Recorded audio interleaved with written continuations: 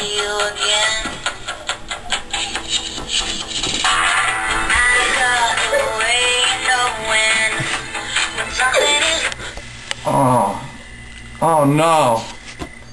It's broken. What am I gonna do? I know, I'll just order a new Dell. Hi, this is Dell. How can I help you? Um, I need a new computer. What happened?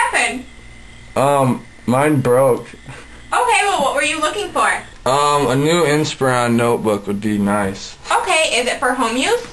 Um, yes ma'am. Alright, and we have one available in a 14 inch screen size and one in 15. What sounds better for you? Um, 14. Okay, with that, um, the laptop weight is about 5 pounds. Does that sound suitable?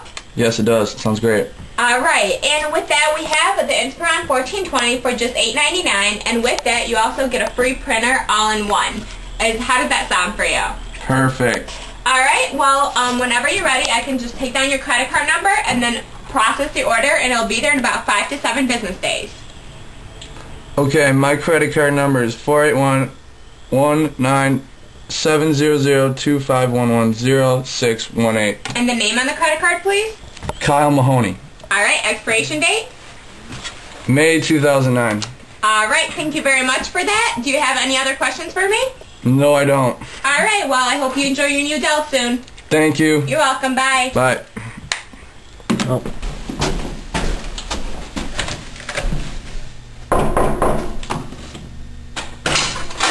Hello, here's your towel. Oh, yes. Thanks, man. Yep, no problem.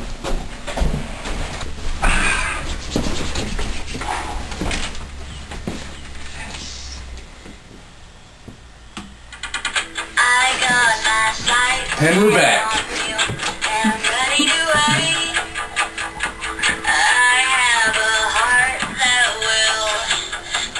be tamed. Wow, this Dell came just in time.